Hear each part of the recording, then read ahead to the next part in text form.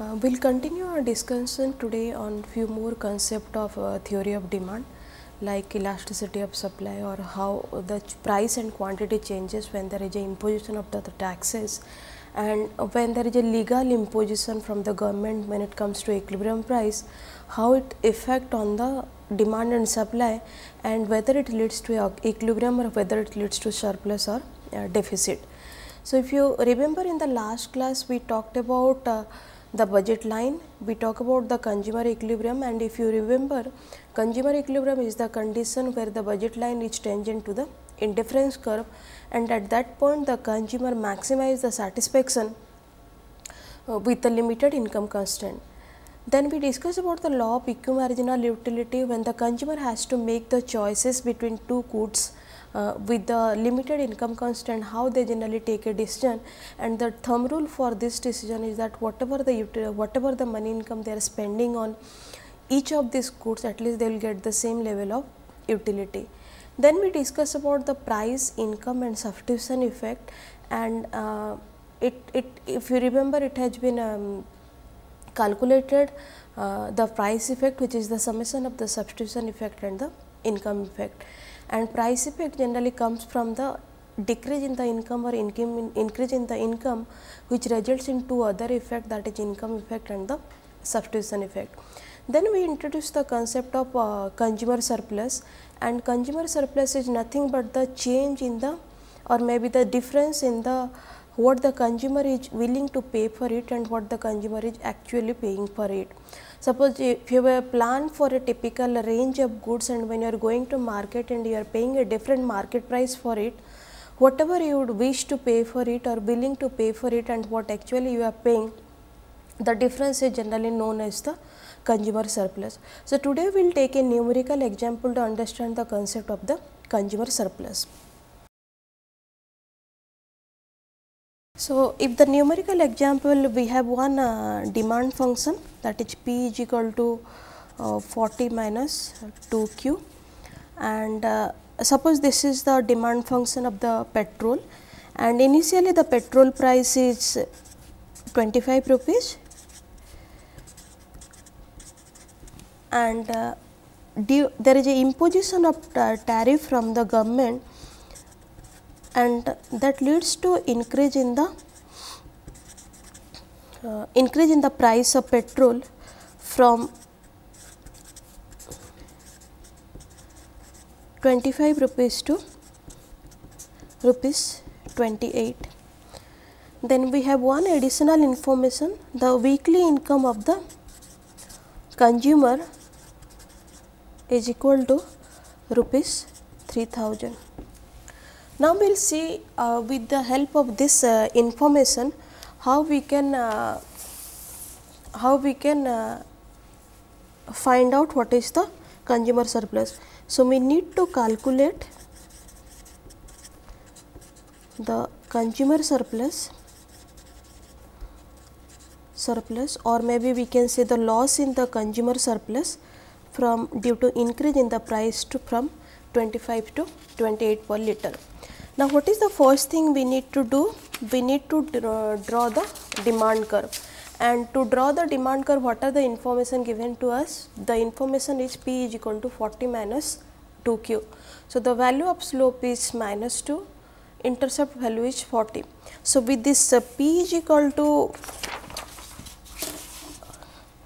uh, 40 minus 2 Q, we will see how we can draw the demand curve over here first need to find out what is the extreme value of P and Q.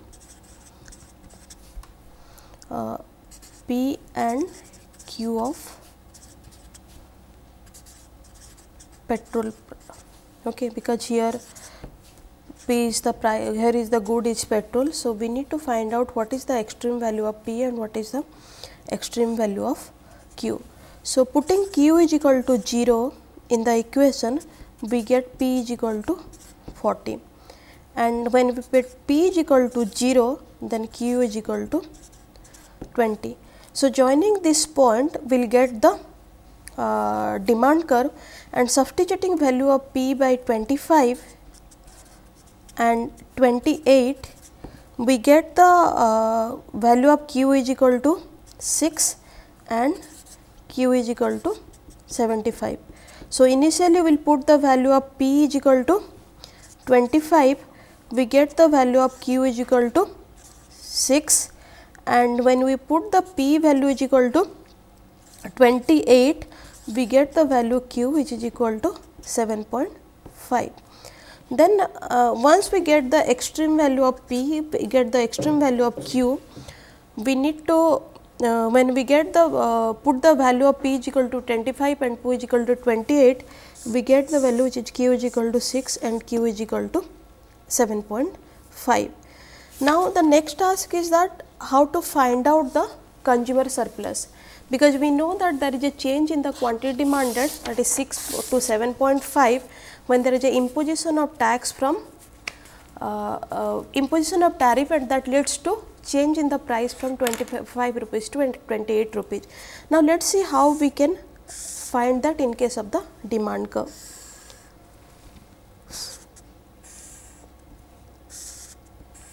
So, this is 25, this is 28, this is uh, this is maybe 6 and this may be 7.5. Now, how we will find out the consumer surplus? So, 0.5 multiplied by 40 minus 25 into 7.5 that gives us the consumer surplus when the price is equal to 25. Now, when the price increased to 28 then this is the 0.5 40 minus 28 multiplied by 6. So, this will give us 6, this will give us 75, 7.5 we get that is the that gives us the value which is equal to rupees 36. So, the first one is uh, 56.25 and the second one gives us the uh, value which is equal to 36. So, what is the loss in the consumer surplus?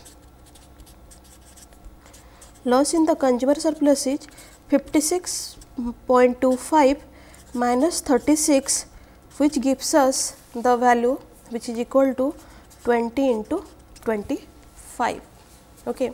So, this is price is 25 quantity demanded is 7.5 price increases from 25 to 28 quantity demanded is 6 when the price was 25 this is the total consumer surplus this triangle but when the price increases from 25 to 28 this is the consumer surplus now because of increase in the price the loss in the consumer surplus is this area so this total area suppose this is a this is b and c initially when the consumer surplus is a b c the total consumer surplus is 56.25 and how we have got this? This is to find out the area of any triangle what is the formula? The formula is half into base into price.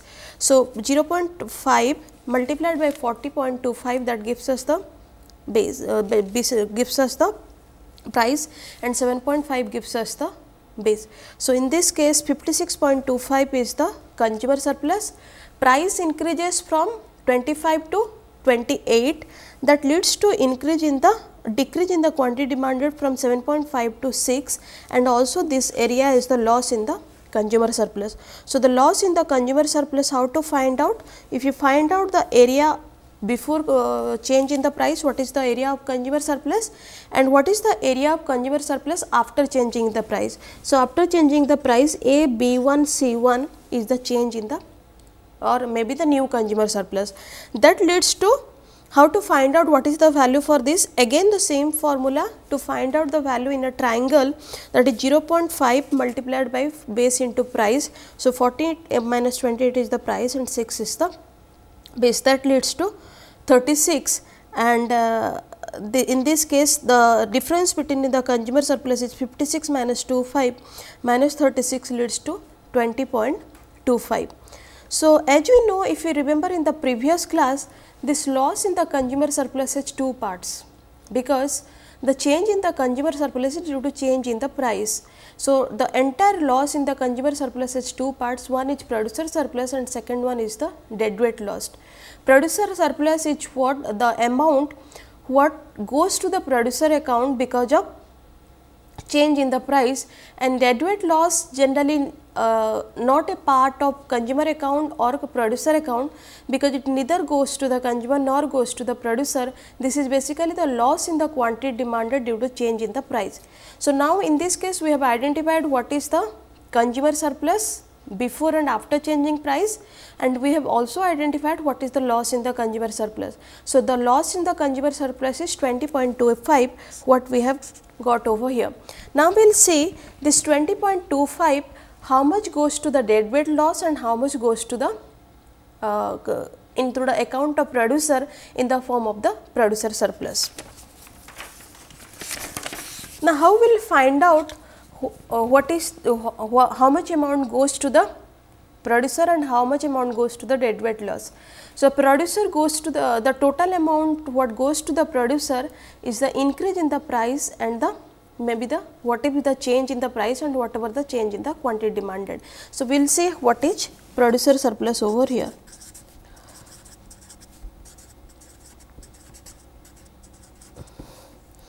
This is the change in the price 28 minus 25 multiplied by 6 minus 0. So, this comes to 18 and uh, what is deadweight loss? Deadweight loss we need to calculate again the area of the triangle. So, this is 0.5 then base into that is 7.5 minus 6. So, base into height. So, that comes to 2.25. So, 2.25 is the deadweight loss and 18 is the producer surplus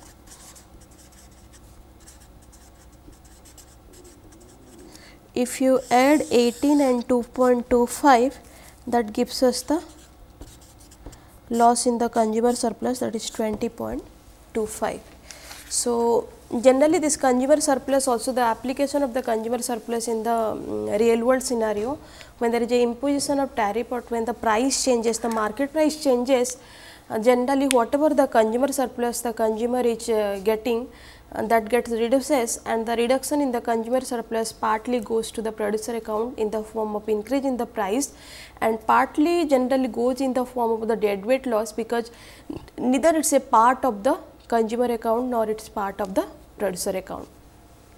Then we will come to the um, uh, some new topics today, new concept of theory of demand or some more concept of theory of demand like elasticity of supply. This is just the counterpart of relationship between price and supply. Uh, if you remember the same thing what we discussed in the context of uh, price and quantity demanded in case of elasticity of demand, then the when there is a imposition of tax how it leads to or what kind of effect it has on the price and quantity and when the price fixed by uh, law or when the when the government fixes up the price maybe in terms of ceiling price or the floor price what happens to the quantity demanded what happens to the price. So, we will start the concept elasticity of supply and elasticity of supply is nothing but the relationship between the price and quantity supply. So, as law of supply says that there is a positive relationship between the price and supply. So, whenever there is a increase in the price there is a there is a increase in the quantity supply and whenever there is a decrease in the price also there is a decrease in the quantity supply. It means there is a positive relationship between the price and quantity supply. But elasticity of supply will help us to identify what is the magnitude of change in the quantity supply when there is a change in the price. So, suppose if price changes by 2 percent whether the quantity supply also changes by 2 percent or the quantity supply changes more than 2 percent or quantity supply changes less than 2 percent. What is the sensitivity of the sellers or what is the sensitivity of the supplier when there is a increase or decrease in the price that we capture through the elasticity of supply. So, if the uh, supplier is more sensitive generally the elasticity of supply is on a higher side. If the supply is less sensitive then the elasticity of supply is on a uh, lower side. So, if it is higher side then it is a elastic, if it is lower side then it is a case of the inelastic supply. So, elasticity of supply is nothing but the measurement of sensitivity of the supplier with respect to change in the price in both the direction when there is a increase and when there is a decrease in the price of the goods. So, how to calculate this elasticity of supply? Generally, we know that when there is a change in the price that leads to change in the quantity supply. So, uh, we will calculate the elasticity of supply using the percentage change in the quantity supply associated with the percentage change in the price. So, here quantity supply is the dependent variable and P is the independent variable. Whenever there is a change in the P that leads to change in the quantity supply and elasticity of supply the captures the percentage change in the quantity supply associated with the percentage change in the price. Now, what is uh, elastic supply? A product has elastic supply when the price change causes significant change in the quantity supply. What would have to be true of a product to allow a seller to quickly increase the production if the market price goes up? So, we know that um, whenever there is a change in the price, if there is a significant change in the quantity, quantity supplied, then this is the case of elastic supply. But here the maybe when you take this to a real world situation, here the question comes, is it possible to produce the seller immediately when there is a increase in the price, whether it is possible to increase the production immediately because there is a timeline required or there is a time period required to produce the product. So, we can interpret in a different way that whatever getting produced by the producer, everything is not getting sold in the market. Part of it always there in the inventory or part of it always there in the stock and whenever there is an increase in the price that leads the supplier to supply more into the market for the consumer, but when there is a decrease in the price they generally keep more in the inventory or in the stock. So, in this case uh, we can say that uh, change in the price is uh, maybe less than the change in the quantity demanded. So, in case of elastic supply the percentage change in the QS has to be greater than the percentage change in the P. So, if it is infinite generally it is a case of a perfectly elastic uh, supply. Now, we will see uh, how we graphically represent this elastic supply curve. Generally, if you look at in case of uh, highly elastic whether it is supply whether it is demand curve the slope is generally high and that leads to the flatter supply curve. So, if price changes the quantity supplied changes a lot it means any small change in the price leads to a good amount of change in the quantity supply and that is the reason the slope is on a higher side and this creates a flatter curve. So, if you look at uh, the graph in the slide Q is the Q is represented in the x axis that is the quantity and P is represented on the y axis that is the price. Initially the price is P1, quantity demanded is Q1. Now when the P price increases from P1 to P2, quantity demanded also increases from Q1 to Q2 and that leads to a greater change in the quantity demanded when there is a small change in the price. So, if you look at in the graph then Q1 and Q2 is greater than much much much greater than P1 and P2 and we can interpret here is that this is the case of elastic supply curve because any small change in the price leads to a greater change in the quantity supply. So, in case of elastic supply curve the supply curve is always flatter and because the change in the quantity supply is more than the change in the price associated with this. Then we will see how it happens in case of a inelastic supply and inelastic supply is one where the price changes causes very little change in the quantity supply. It means the percentage change in the quantity supply is less than the percentage change in the P. It means it may ha happen because of two things either the time required to produce the product is significant. So, even if there is an increase in the price still the producer will not going to supply more or maybe the product is the nature is something that even if the price increases the demand is not going to maybe price increase is not because of increased demand. So, in this case even if they are supplying more there is no market for the product and that is the reason uh, in, in case of inelastic supply the change in the quantity quantity supply is less than the change in the price.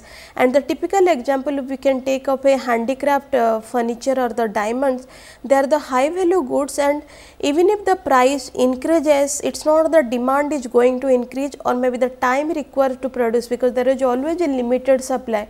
So, even if the price increases, the uh, supplier immediately not matching with the change in the price and that is the reason this is known this type of goods comes under inelastic supply because it cannot be match immediately the increase in the price cannot be matched immediately. Now, we will see how, how the slope of the inelastic supply curve. If the market price goes up, but the supplier cannot increase production very much, this is the scenario of an inelastic supply curve and this generally creates a steeper curve.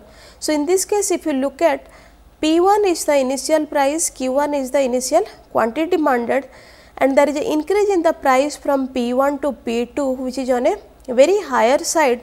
And that leads to the subsequent increase in the quantity demanded from Q1 to Q2 and uh, if you look at here the Q1 and Q2 much much much less than P1 and P2 and that leads to the interpretation that the change in the quantity demanded is less than the change in the price and that is the reason we get the steeper curve and in case of inelastic supply curve the we always get a steeper curve.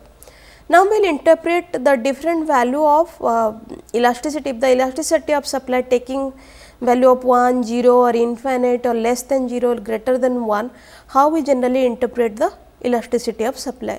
If elasticity of supply is equal to infinite, this is the case of a perfectly elastic supply. It means a small change or a negligible change in the price leads to a greater change in the quantity supply. If elasticity of supply is greater than 1, it is a case of elastic supply as we discussed previously.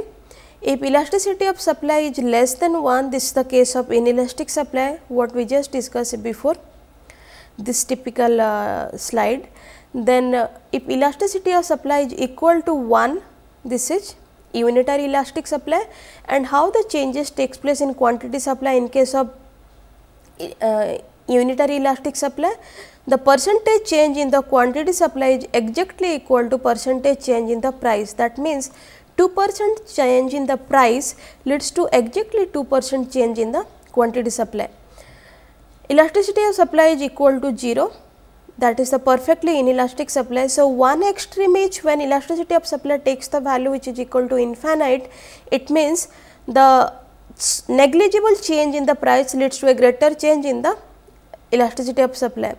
And if it is 0, then it is a perfectly inelastic supply that is the other extreme. It means even if there is a significant change in the price, still there is no significant, there is almost insignificant change in the quantity supply we can say there is no change in the quantity supply. The reason being that uh, the reason being that maybe the supply cannot be immediately matched with the change in the price or maybe the increase in the production cannot takes place immediately with the increase in the price and that is the reason we need uh, we reach to another extreme of the elasticity of supply that is perfectly inelastic supply where whatever may be the change in the price the quantity supply either do not changes or if it changes that it changes very insignificantly. Then we will say in a typical supply curve uh, what is the range of elastic or what is the range of inelastic or when the supply curve is a straight line then what how we interpret the value. So, if the supply curve cuts the price axis that is y axis then the supply is elastic. So, supply curve is a straight line elasticity of supply takes the value which is greater than 1 and if the supply curve cuts the price axis y then the supply is elastic. If the supply curve is a straight line elasticity of supply takes a value which is less than 1 and if the supply curve cuts the quantity axis x then the supply curve is inelastic. It means if the supply curve cuts the quantity axis this is the inelastic supply curve and if the supply curve cuts the price axis then it is the case of the elastic supply curve. If the supply curves come out of the origin then the supply is unitary elastic. So, if it is cuts the price axis then it is a case of the elastic. If it cuts the quantity axis this is the case of inelastic. If it comes out of the origin then the supply curve is unitary elastic. Now, if you summarize all this uh, type of elasticity whether it is equal to infinite, it is equal to 0, it is greater than 1, less than 1 or equal to 1. So, if you take everything in one graph then this is what it gives us elasticity of supply is equal to 1. Then this gives us elasticity of supply is equal to 0 because there is no change in the quantity supply even if the price is changing. This gives us elasticity of supply is equal to infinite whatever may be the price change in the price uh, change in the price or, in, or small change or the negligible change in the price leads to a greater change in the quantity supply. Then if it cuts uh, maybe the price axis then elasticity of supply takes a value which is greater than 1 and if it takes the quantity axis cut the quantity axis then elasticity of supply which is equal to less than 1. So, there are 5 type of elasticity of supply elasticity of supply equal to infinite equal to 0 two extremes the midpoint is elasticity of supply is equal to 1 and in between these two the range is elasticity supply is greater than 1 that is relatively elastic and elasticity of supply is less than 1 which is relatively inelastic. So, we will see in a typically supply curve which one is the elastic section, which one is the inelastic section or we can say which one is the elastic range and which one is the inelastic range. So, if you take the case of uh, maybe a elastic demand curve which is much flatter then the, the bottom section is more elastic and the maybe the segment in the top that is less elastic. So, in this case the elasticity of supply takes a value which is greater than 1 and that is the reason we have got a flatter demand flatter supply curve and here the bottom segment is more elastic and top segment is less elastic. Similarly, if you take a inelastic supply curve the bottom one is more elastic and the top one is less elastic. So, in a typical supply curve in the different segment we get the different value of elasticity of supply. Now, we will see what are the factor that influences the elasticity of supply like uh, or what are the tip, uh, specific uh, uh, factor those influence the supply has to be elastic or supply has to be inelastic. The first factor is the availability of resources required to make the product.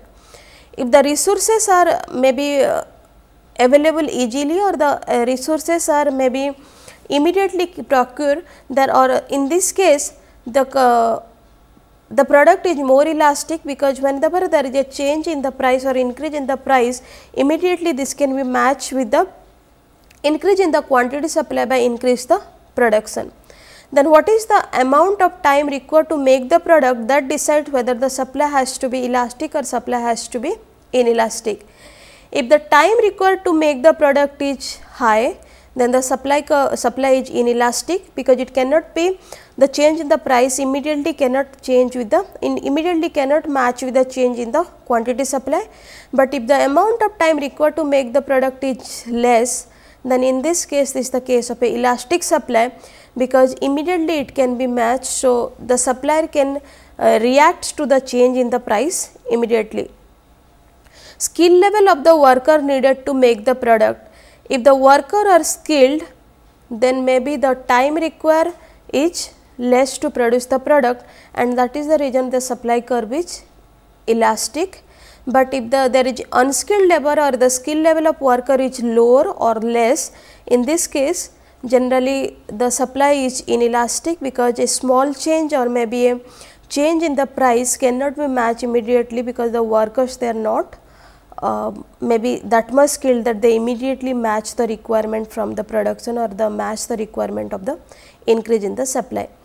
The final one or the fourth factor which influence elasticity of uh, supply is time period for adjustment. If larger is the time period to adjust with the change in the price, it is the case of more elastic and there is if there is less time for adjustment then the supply is inelastic or we can say less elastic. More is the time period for adjustment, more is the elastic supply, less is the time period for adjustment, less is the elastic supply or we can say is the case of the inelastic supply. So, elasticity of supply generally measures the sensitivity of the supplier with respect to change in the price and it takes different value on the basis of the supplier's responsiveness or the supplier sensitivity sensitivity for the change in the price and accordingly it takes different value and few factors what we discussed just now generally they contribute for influencing the supply curve to the uh, more elastic or less elastic. Then we will see what is the impact of tax on price and quantity. In this case, we will take the case of the unit tax which is generally the tax per unit of output sold and we will see how it generally affects the price and quantity and whenever there is a imposition of tax who generally takes the tax burden whether it is the buyers whether it is the seller that will analyze or that will see through the graphical representation. So, this is in this case specifically we are talking about the unit tax which is that is tax per unit of output sold. So, now let us see different cases and different scenario how the tax burden gets shared between the supplier and the buyer.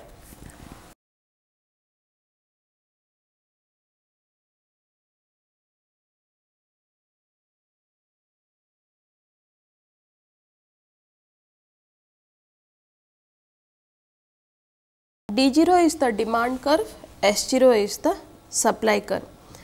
There is imposition of tax and the imposition of tax will represent through the decrease in the supply and that leads to decrease in the supply from S0 to S1. Now, this is the equilibrium quantity, this is the equilibrium price. Now, there is imposition of tax and that leads to a change in the supply from S0 to S1 and here we are representing the amount of tax through the change in the supply. So, this is the total amount of tax being imposed. When the supply moved from S0 to S1, the equilibrium point changed from E1 to E2. In this case also the price and quantity changes, quantity is Q1 and price is P1. What is the total amount of tax? This is the total amount of tax. So, in this case now, who, who share the taxes over here? Initially demand curve is D0, supply curve is S0, quantity equilibrium quantity is Q0, equilibrium price is P0. Imposition of tax that leads to shift the supply curve from S0 to S1 and the difference between two supply curve gives us the tax which is equal to P0T. Now, this P0T who is paying how much of this P0T? Due to change in the supply, now the producer has increased the price from P0 to P1. So, this P1 and P0 is paid by the consumer in term of increase in the price and the rest of the amount of tax that is P1 by T that has to paid by the supplier because this is this is not this part of tax is not being covered by increase in the price. So, supplier or seller. So, imposition of tax is there that leads to shift in the S that is decreasing the quantity increasing the price, but the increase in the price is not equal to the amount of tax being imposed. So, there is some more amount left from the tax amount that is P1 by P1 and T. So, this tax is the tax burden is shared by both the consumer and the producer. P0 P1 is paid by the consumer in term of increase in the price and P1 T is paid by the buyer paid by the seller or paid by the supplier because partly it has to be shared for both the producer and the consumer. So, in case of unit tax imposed if the both the demand and supply curve they are maintaining their original uh, slope in this case or the original relationship in this case the partly it has been paid by the consumer in term of increase in the price and partly it has been paid by the producer. Now, we will introduce the concept of uh, elasticity of demand and elasticity of supply uh, to this supply and demand curve and then we will see how the tax gets shared between the consumer and the supplier. What happens when there is a perfectly inelastic demand curve? What happens when there is a perfectly inelastic supply curve? What happens when there is a perfectly elastic and perfectly uh, elastic demand curve and perfectly elastic supply curve? So, first we will take a case of a perfectly elastic demand curve.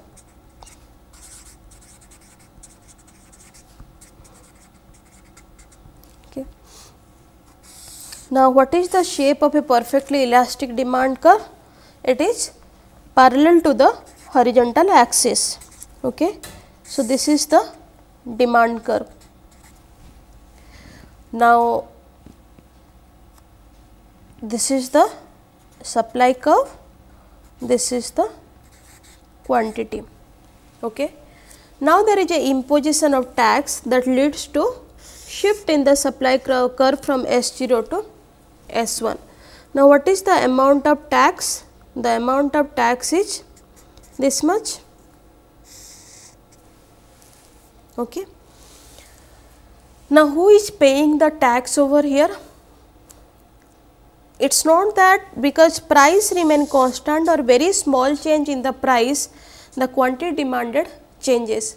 So, there is if you look at there is no change in the quantity demanded and if there is no change in the quantity demanded the tax amount cannot be or maybe if there is a uh, if there is a uh, possibility to increase the price that is not possible here and that is the reason if you look at uh, even if the quantity demanded is changing, uh, what is the change in the price?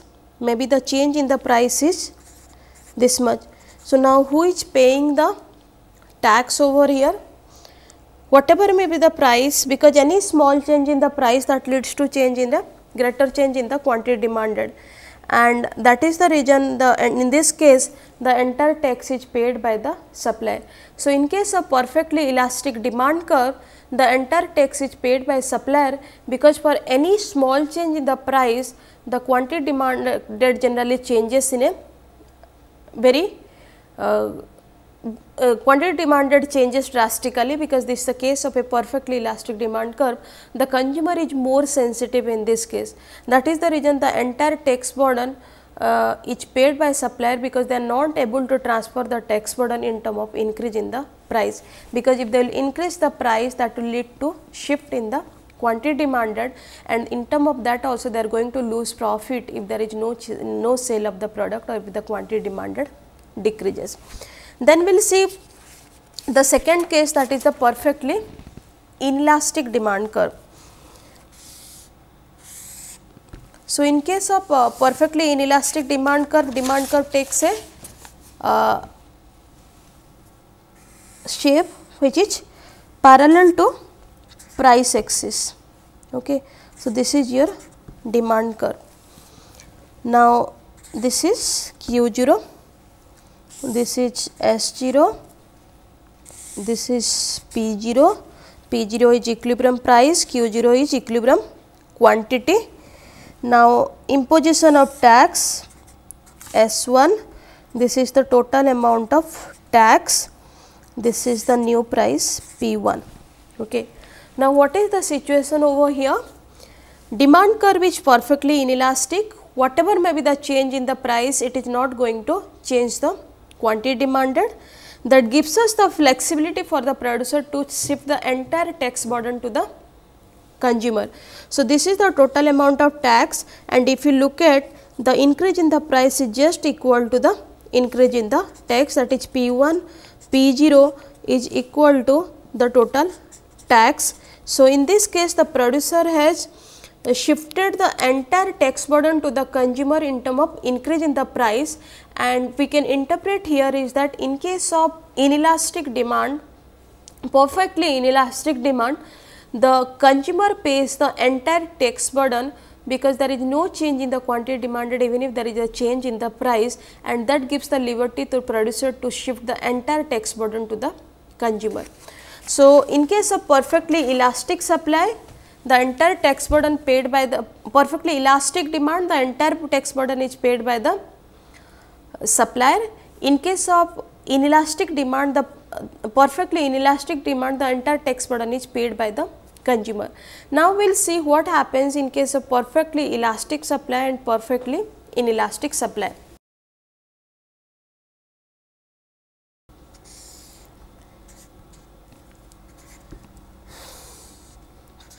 Q zero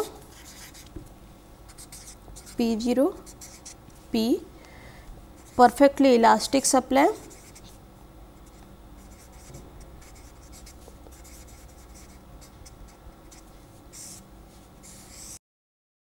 perfectly elastic supply imposition of tax moves S zero to S one and there is a same imposition of increase in the price that is P0 by P1. So, in this case the amount of tax is getting transferred to the consumer in term of increase in price because P1 P0 is just equal to the tax and the entire tax burden is paid by by the buyers because the tax total tax amount is shifted to consumer in term of increase in price. So, perfectly elastic supply curve the tax is paid by the buyers. Then we will see the case of the perfectly inelastic supply curve. So, in case of perfectly inelastic supply curve, supply curve takes a uh, value that is uh, parallel to the price axis. It means whatever may be the change in the supply, it is not going to whatever may be the change in the price, it is not going to change the quantity supply. So, in this case no effect on perfectly inelastic supply. There is no effect on price and quantity because imposition of tax will not lead, uh, not lead to any change in the supply curve rather but when there is a imposition of tax generally that reduces the profit of the seller. So, in case of inelastic supply curve there is no effect on price and quantity demanded that is the reason the consumer is not getting affected, but there is some influence on the seller that is in term of change in the price or in term of maybe change reduced quantity and that leads to reduced profit for the seller. So, when there is a imposition of tax that leads to the fact that the tax burden get equally share between the buyers and seller, but when we introduce the concept of elasticity, if the buyer is more sensitive, then it is mm, the tax burden is more on seller. If the buyer is less sensitive, tax burden is more on buyer. Similarly, if the supplier is more sensitive, tax burden is more on consumer. If the supplier is less sensitive, generally that reduces the profit of the seller. Now, we will see the specific two cases like sell tax and excise, excise tax, how that leads to change in the price or quantity demanded or how it affects generally the sellers and consumer. Okay. So, if you summarize the previous uh, uh, analysis of uh, imposition of unit tax, if the demand curve is perfectly inelastic, price increases by the full amount of the tax and supply remain unchanged the entire tax is borne by the consumer. If the supply curve is perfectly inelastic there will be no increase in the price or decrease in the supply the whole of the tax is borne by the supplier. If the demand curve is perfectly elastic the price does not rise at all and the whole tax is borne by the seller. If the supply curve is perfectly elastic, the price rise by the full amount of tax and the entire tax borne by the consumer. Uh, but given the supply schedule, the greater the elasticity of demand for the good, less will be the tax burden on the consumer. Given the demand schedule, the greater is the elasticity of supply, the greater will be the tax burden borne by the buyer. Then we will introduce two new taxes, sell tax and excise tax in order to understand what is their impact on price and quantity. So, sell tax is the tax imposed on consumer paid directly to the government does not affect the price consumers pay price plus sales taxes. So, tax is not the part of the price. Less desirable to buy the taxed good or service at every given price demand shift downward and to the left because there is a decrease in the demand when there is a imposition of tax. So, this is the effect of sell tax on demand. Suppose a new law require 0.25 dollar tax per cup of coffee.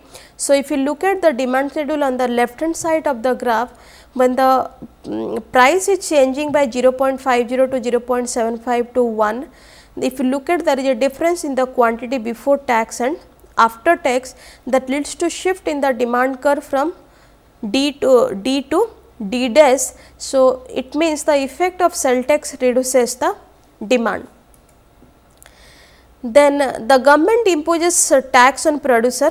In case of excise tax, the government imposes uh, tax on producer. Producer pay the tax directly to the government. Price does not change, but the cost changes because they are paying a tax to you. Less desirable to produce taxed good or service at every given price supply shift to the left and upward. So, if you look at due to imposition of excise tax that leads to decrease in the supply and that lead to shift in the supply curve from S to S dash. So, if you look at in this case suppose there is excise tax of 0.25 per cup of coffee that leads to change in the quantity supply that is imposition of tax before and after and that leads to decrease in the quantity supply and uh, graphically the change in the quantity supply is represented uh, from the movement from S to S dash. So, irrespective of whether it is sell tax, whether it is excise tax, uh, it generally reduces the demand and supply. In case of sell tax that reduces the demand, in case of excise tax that reduces the supply. So, what is the effect of sell tax? Sell tax suppose this XC per item cause equilibrium price to fall by the same amount less than XC per item. Price to supplier not same as price to the demander because price plus sell tax is the price to the buyers. And what is the effect of excise tax? Excise tax per uh, item causes the equilibrium price to increase by some amount less than XC per item price to the supplier that is price minus excise tax is not same as the price to the demand. So, in case of sales tax the price to the consumer is on a higher side and in case of excise tax the price generally what is part of the cost also in the due course of time generally they shift it to the consumer, but initially when they are paying excise tax whatever the price for them that is cost of production for tax that is not equal to the market price what the consumer they pay for it. So, generally in case of imposition of sell tax reduces the equilibrium price, but in case of uh, imposition of excise tax it reduces the equilibrium price.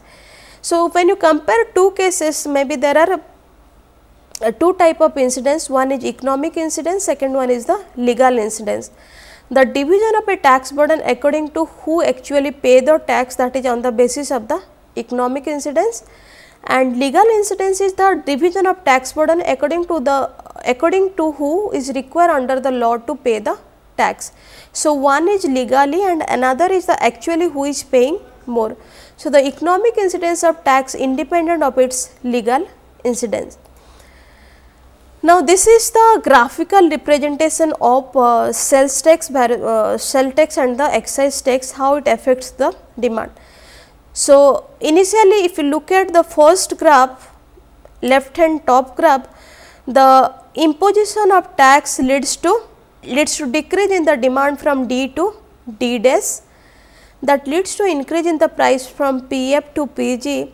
So, the price to supplier is PF whereas the price to consumer is PC which includes the price plus the tax and in the right hand side if you look at the top one then imposition of excise tax leads to shift the or decrease the supply from S to S dash and that leads to two type of price one is the price to supplier and second one is the price to demand.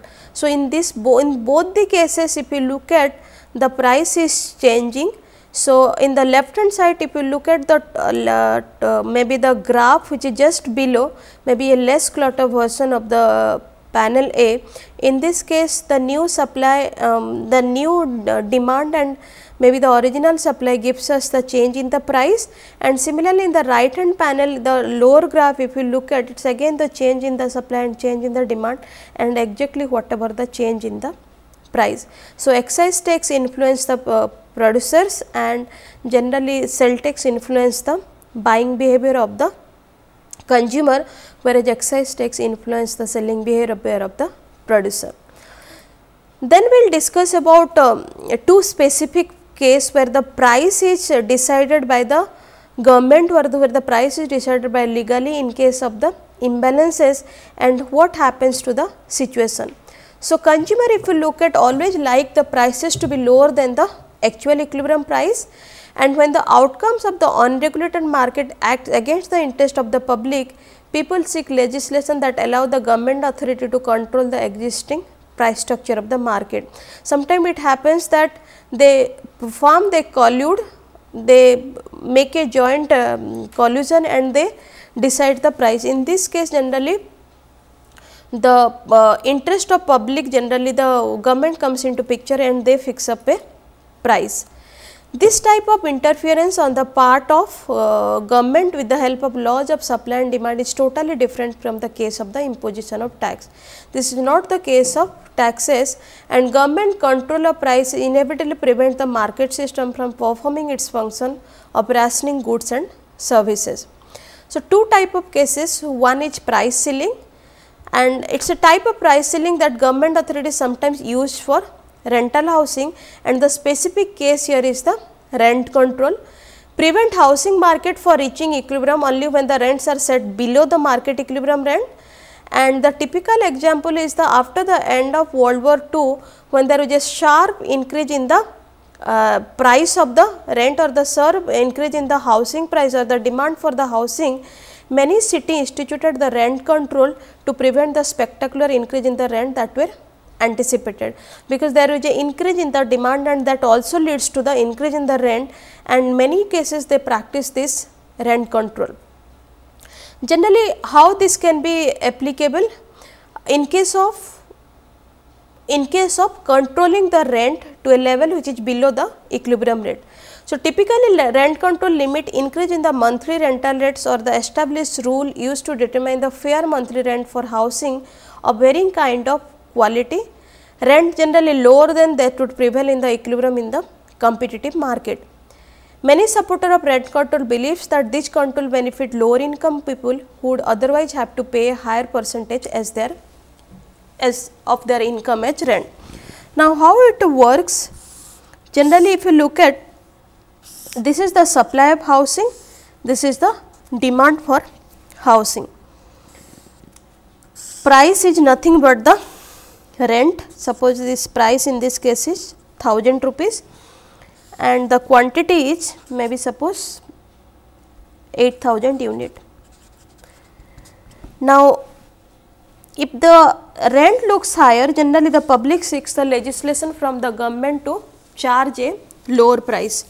So, in this case if the government fix up a rent which is equal to rupees 500 now what would be the outcome the demand would be more and the supply would be less. So, suppose this is 10,000 units because of decrease in the rent that leads to increase in the uh, demand for housing to 1000 unit, but the supply of housing reduces to 6000 unit.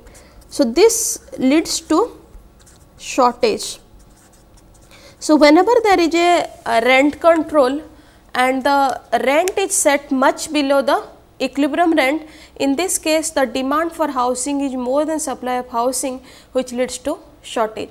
Then in this case what is the way out because rent was on a higher side that is the reason the public comes to the uh, government support to fix up the rent and if the rent is lower than the equilibrium rent generally people they prefer a high demand for housing and the supply is there reduces the supply. So, in this case maybe one possible solution is to uh, follow a non-rationing rent control and what is the non-rationing uh, rent control or non uh, non-rationing or the non-price maybe a solution the non-price solution is to that first come first serve basis. So, at a specific price even if it is 6000 or even if the rent is 500 only people up to 8000 they will be entertained not more beyond 10000 so the in this case the surplus can be captured on the basis of the first come first serve so it's uh, only the 8000 units of housing available at a price of 500 and they should the supplier will only uh, there is binding on the supplier also to supply at least 8000 unit of the housing at the rent of 500 the second case what we will deal uh, here is the opposite of price ceiling is price floor. So, now what is uh, price floor? Okay, so this effect of rent control is if selling on rent is below the market equilibrium rent, this inevitably result in the shortage of the rental housing what we checked in the previous graph. Rent control do not make renter house less expensive to the tenant. Lender respond to the reduction in the possible gain by decreasing the quantity and often the quality of the rental houses supplied.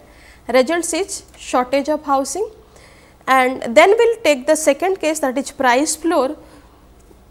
Opposite to the price ceiling, this the minimum price that has to be given or that has to be given by the supplier now, what is the typical example here? The typical example is the minimum wage.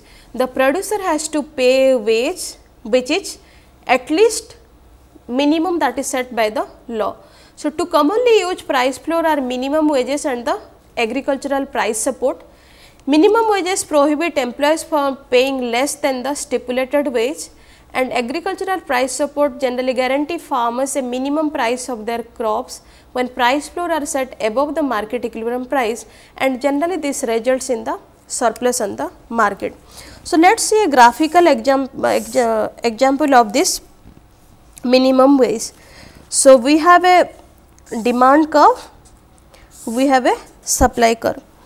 This is the equilibrium quantity, this is the equilibrium price.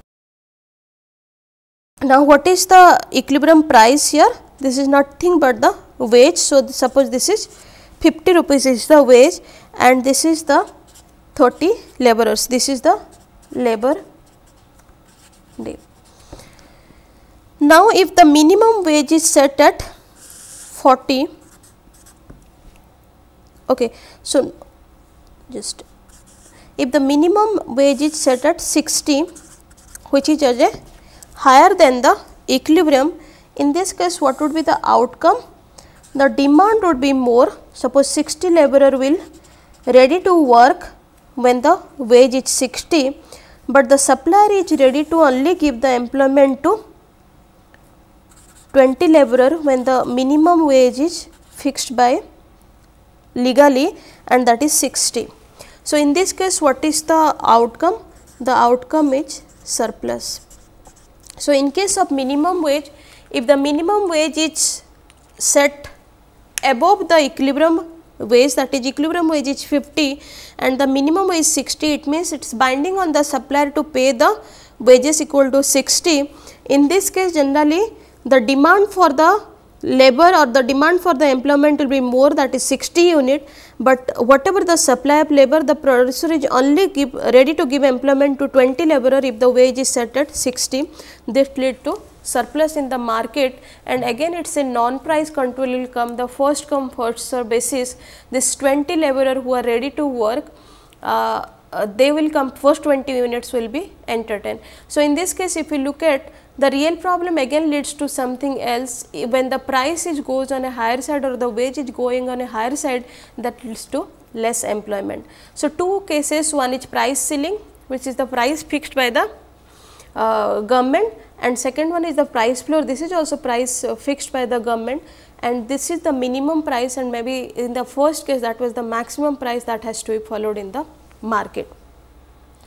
We'll, uh, so, with this we completed our second module that is on theory of demand or demand analysis and we will start our third module that is theory of production and cost from the next session onwards.